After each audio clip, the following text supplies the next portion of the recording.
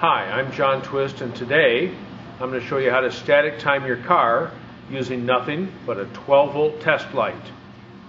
The first step in static timing is to move your crankshaft to about 10 degrees before top dead center. Now these are highlighted with a yellow paint pencil. I'll probably get my wrench in the way and of course I said we're just going to do it with a 12 volt test light but in fact we've got to use a wrench to move this.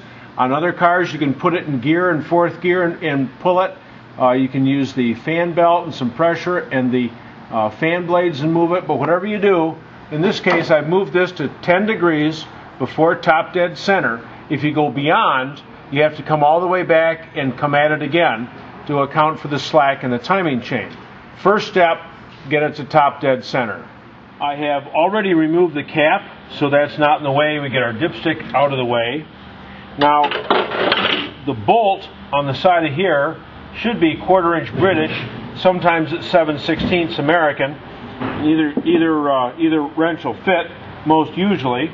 Now we take our 12 volt test light that's here, and pull our lead off the distributor down here, the low tension lead, put our test light up against this low tension lead here, and connect the other end of our test light to something hot. And if my cameraman's in the right spot, you can see that my, that my test light is on. So we hold our rotor clockwise, rotate the distributor clockwise, easy for me to say here, this is pretty tough to move, rotate the distributor clockwise until our light just goes out. Right there, okay? That's it. Usually when you shake the rotor up and down, you can get it um, back this uh, distributor back up just a touch. Usually you can get the rotor to, there it goes, winking on and off because of the uh, slight um, looseness of the rotor, the distributor shaft. So again, this is pretty simple.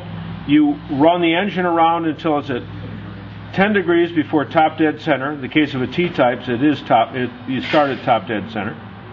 But B's and A's, you start at 10. Then you put the test light between something hot and the low tension lead on the distributor. Then hold the rotor clockwise to get the automatic advance all, all, the way off and turn the distributor clockwise until the light just goes out. Now, if you saw that light just barely came back on again there as I wiggle the vacuum advance unit, it winks on and off.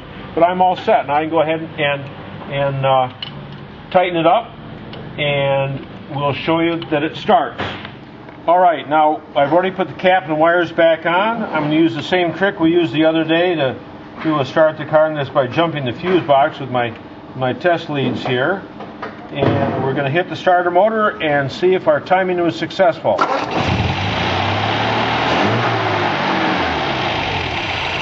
Static timing, the easiest way to time your engine. Roll it around to, to uh, the static setting, which on an A or a B is 10 degrees before top dead center, on a T-type is top dead center. Then connect your test light between the low tension lead on the distributor to something hot hold the rotor clockwise and turn the distributor clockwise until the light just goes out. Of course, this doesn't work on electronic ignition. That's more complicated. So, thanks a lot. We'll see you guys tomorrow.